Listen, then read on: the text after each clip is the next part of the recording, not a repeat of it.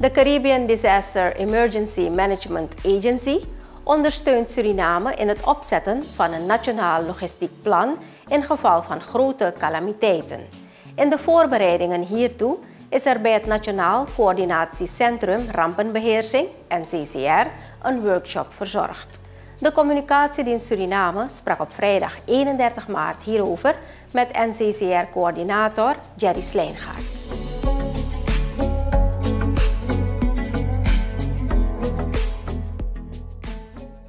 Het doel van deze training is geweest om het Nationaal Logistics Plan op te zetten. Dus uh, Suriname heeft namelijk geen nationaal logistiek plan.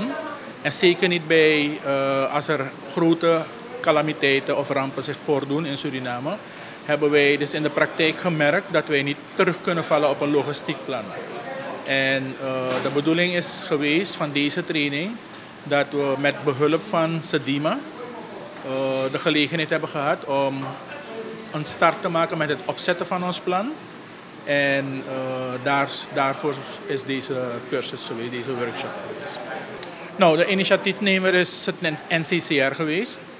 En uh, de doelgroep is geweest dat diverse actoren die in het logistiek systeem van Suriname een rol en een verantwoordelijkheid zullen hebben.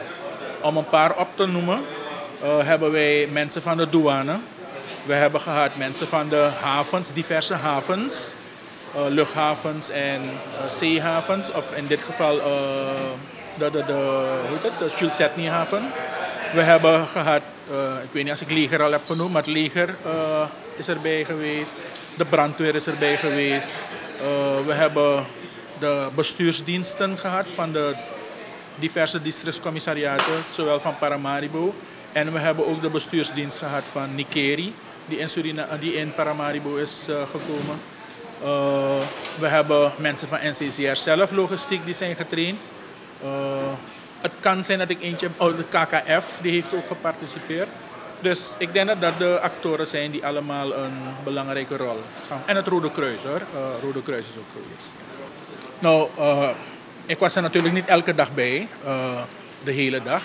Maar ik denk dat de training een hele goede training is geweest. We hebben een geweldige participatie gehad van de Surinaamse participanten. En ze hebben allemaal hun input gegeven en dat uh, stel ik heel, heel veel op prijs. De volgende stappen zullen zijn dat wij uh, dit plan, waar een begin aan is gemaakt, dat wij dus dat verder zullen uitbreiden totdat er inderdaad een nationaal logistiek plan is die nationaal te gebruiken is. Dus die stappen moeten nog worden gemaakt.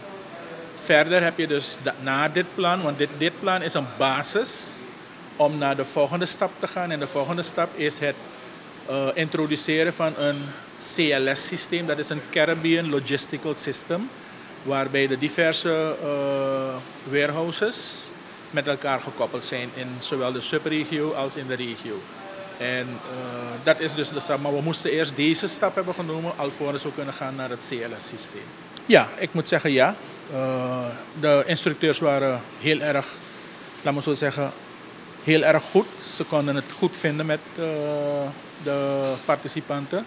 Maar ook inhoudelijk is, is er, de mensen hebben veel meer kunnen zien. En ik denk dat het goed is geweest dat deze Eh, training is gegeven, zodat de mensen veel beter begrijpen wat van hun verwacht wordt. Well, at the workshop, I coordinated the entire planning for this workshop. And in essence, as a team, we looked into the logistics and relief management capacity of the Caribbean states. And it was Suriname to be next in line to receive this workshop, as it was needed because if you look at disaster response, logistics is something that is needed and is also an area that attention needs to be placed on because in 2019 we understood that there was a definite um, desire to have logistics workshops, trainings, and improvement of logistics in the region. So over the past four years, we have been working with countries to supplement and augment their logistic structures. They were good because if you look at the participants taking part, they are the ones involved in relief management in Suriname.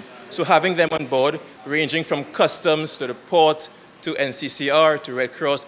These are all key actors in Suriname logistics and emergency logistics management. So having them on board, they were very cooperative in each section of the plan and each day. So having them fully integrated within the system and for Suriname logistical response was very intricate and very vital. Nou, zeer positief. Zeer positief. Je hebt allerhande zaken die in feite bijgebracht zijn door deze heren. En, uh, we hebben hiervan van kunnen, uh, kunnen, hoe noem kunnen leren. Hoe we in feite, we zijn nog niet echt klaar ermee. Maar het, het doel van, van dit alles is eigenlijk om een plan op te stellen. Hè? Een, een, een logistiek, een emergency plan. Om dat op te zetten voor Suriname. En waarbij we eigenlijk alle actoren nodig hebben om hun bijdrage te leveren om dit tot een goed plan te, uh, te brengen. Dus, dus even kijken wat het wordt, wat het plan aangaat. Hè. Er moet nog meer komen, dus even afwachten. Nou, tevreden ga je altijd zijn. Reden waarom gaat om kennis verwerven, weet je. Dus die tevredenheid ga je altijd hebben. Je, gaat, je zou misschien graag meer willen hebben, maar dit alles geschiet in één, weet je. Er zijn uh, momenten waarbij de mannen terug gaan komen. En gaan we dan op zo'n manier dan de rest van de kennis die zij hebben, gaan we dan, dan in feite ook dan een, weer een, naar ons toe een, krijgen.